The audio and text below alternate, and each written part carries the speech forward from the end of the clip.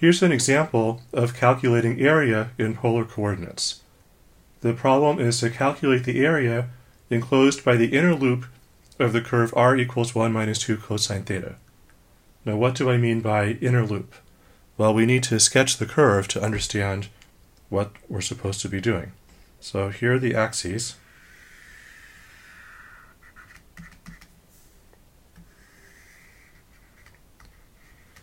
Now at theta equals 0, r is equal to minus 1. So we start at the point minus 1 comma 0. And r will continue to be negative until cosine theta equals a half. That will happen at theta equals pi over 3.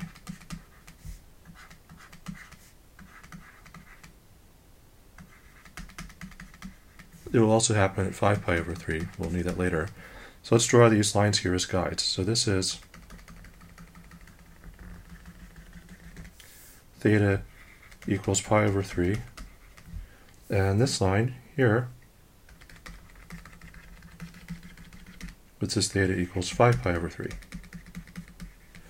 Okay, so r starts at 1, it goes down to 0 when theta is pi over 3, and at theta equals pi over 2, r has gone up to 1, so we hit the point 0, 1. So this is where theta is pi over 2. This was theta equals 0. And when theta goes up to pi, r goes all the way up to 3. So we're going to hit the point minus 3, 0 at theta equals pi. And then it's symmetric, so we're going to go back down to r equals 1 at theta equals 3 pi over 3. So here at theta equals, sorry, 3 pi over 2. So here we're at the point 0 comma minus 1. r will go back down to 0 when r, when, sorry, when theta is 5 pi over 3, and then we'll go back where we started. So we want to calculate the area of this inner region here. So how do we do that? Well, area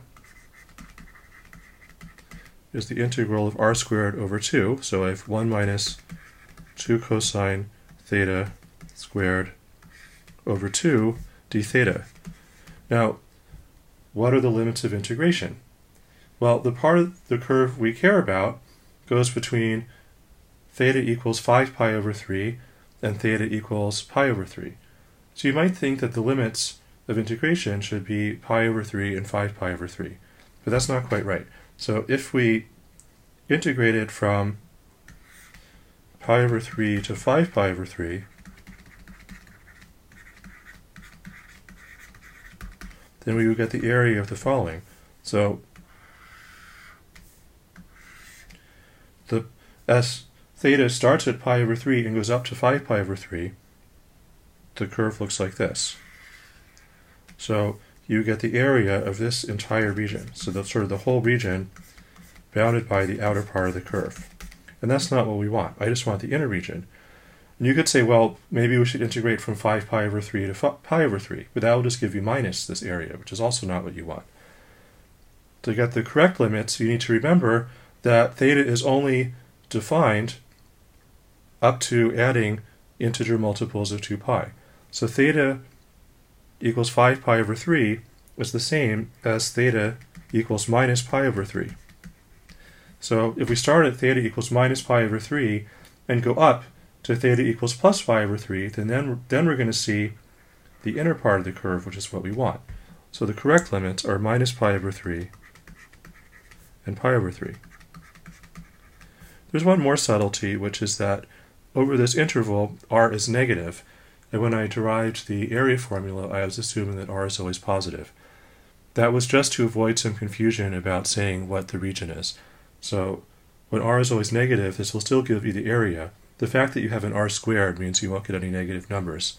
So this integral will give you the area of this region with pie slices um, sort of corresponding to the way I've drawn the lines here in this region. Okay, so then this is the integral for minus pi over 3 to pi over 3 of 1 minus 4 cosine theta plus 4 cosine squared theta over 2 d theta And to integrate this, you can use the identity cosine squared theta equals 1 plus cosine 2 theta over 2. And I'll spare you all the details. You can do this yourself for practice if you like. And the final answer you get is pi minus 3 times the square root of 3 over 2. And just as a reality check, we should make sure this is positive. Well, we know that the square root of 3 is less than 2, so when I multiply it by 3 halves, I get something which is less than 3, and pi is bigger than 3, so that is indeed positive.